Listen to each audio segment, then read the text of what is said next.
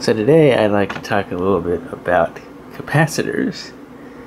And I've got a circuit built here, but we'll show that a little bit a little bit later. But first thing I want to do is talk about what capacitors are. And you may have seen them. They look like these little cylindrical devices that are attached to circuit boards and electronics and other things like that. And usually they've got some kind of cap with cuts in it like that usually most of the time. What a capacitor does is it's designed to store an electrical charge. So it works similar to a battery, but it's able to hold a small amount of charge that can be released quickly. That's the advantage of a capacitor is you can store charge in a capacitor, but then you can discharge it, which of course means a very high current draw very quickly. You can't pull that off with a battery or anything without it getting very hot and having dangerous amounts of current coming out of it. Capacitor you can do that with. And an example of something where that would be needed is the compressor units usually outside your house that are part of your heating and air conditioning system they have a starting capacitor for the motor in those units that provides the extra bit of juice to help that motor get started when the device, you know, has a demand on it when it needs to start up. Because otherwise, usually the motor can't turn when it starts, and the most common issue is you'll hear a buzzing noise coming from the motor. That's a sign that the starting capacitor failed. So that's one use of where capacitors are.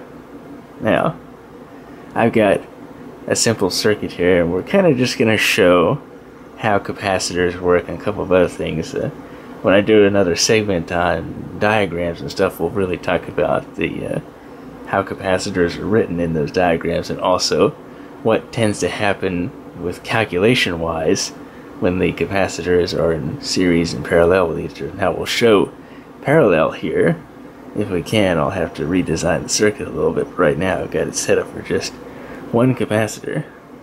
So, what I've done is, is I've got a switch push button with a meter so we can see the current, and we've got a red LED light emitting diode with a 10,000 ohm resistor attached to it and a separate on-off switch. We have a 3 volt voltage source supplying the voltage to the circuit. And so with the switch in the off position for the LED, obviously nothing happens.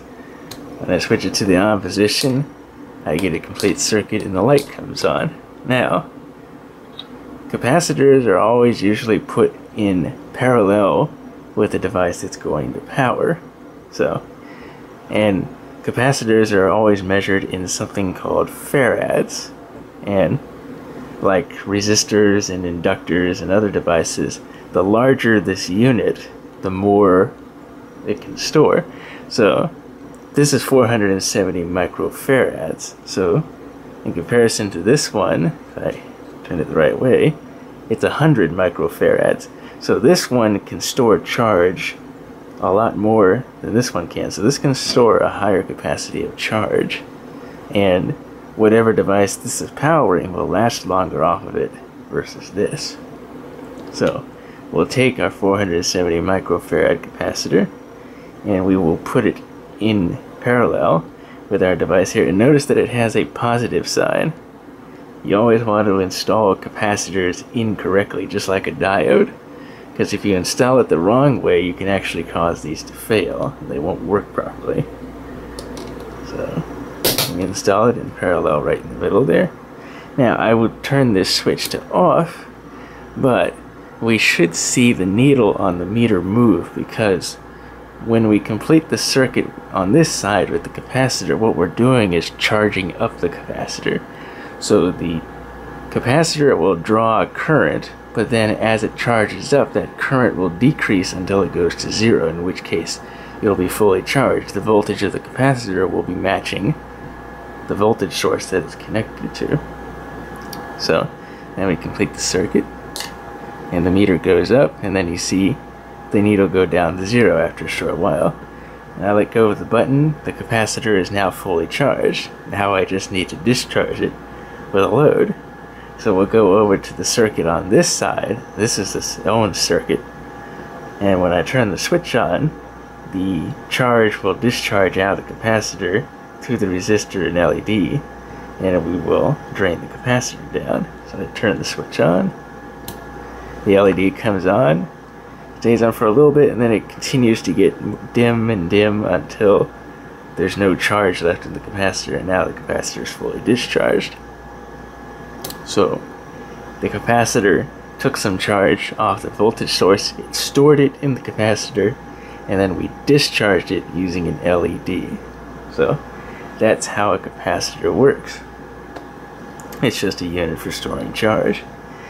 Now, like I said, I'm going to show how capacitors work in parallel. So let me quickly redesign the circuit here so we can support multiple capacitors on there. So I quickly reconfigured this circuit and extended this out, so now we've got two points where we can connect two additional devices. And actually I realized this is a 1000 ohm resistor I put on the circuit here, not a 10,000 ohm resistor. But I will also show what changing the resistor value does to how long that LED will stay lit we discharge the capacitor. But let's talk about that issue with the farads. You know, difference between using one with a higher value versus a lower value. So this is the 100 microfarad capacitor. I so showed you the 470 microfarad capacitor here when we charged it up and then discharged it through the LED. So now I'm going to hook this 100 microfarad up in parallel and we're going to compare how long the LED stays on versus that 470 microfarad one. So it's all connected up here. Let me charge it up. Now, notice it went up and then went back down really quick. The smaller size capacitor didn't have to take as long to charge up. Again, it's a smaller value. It doesn't have as much charge capacity as this other capacitor, so it doesn't take as long to charge up. Now, when we go over here to the LED, when I discharge it through the LED, it should equally discharge as quick or it will discharge faster because there's not as much capacity to hold a charge in there. So I'm going to turn the switch on. And the LED comes on and then goes out pretty quick. Again, not a lot of charge there in that capacitor with that capacity. So, we've shown the difference in duration with a larger versus smaller capacitor. Now what we're going to do is we're going to put these two capacitors together in parallel. So I'm going to put this one right next to it. Now when capacitors are put in parallel, their total capacitance is added together. So we have a 470 microfarad capacitor, and we have a 100 microfarad capacitor next to it. So we have a total of 570 microfarads of capacitance here. So that would be our equivalent capacitor. If we wanted to reduce this on a diagram, these two capacitors would just become one 570 microfarad capacitor here. That's how we would do that on a diagram. So now that we have more capacitance, we can hold a higher amount of charge and the LED should last longer than with either of these capacitors by themselves. So now it's all hooked up, make sure the switch is in the off position there. I'm going to charge the capacitors up. And notice this time that the needle stayed up most of the time and then started coming back slowly. So that indicates that we do in fact have more capacitance there. So we have a much higher level of charge. Now I'm going to go over again to this circuit and I'm going to turn the switch to the opposition. And the LED stays on.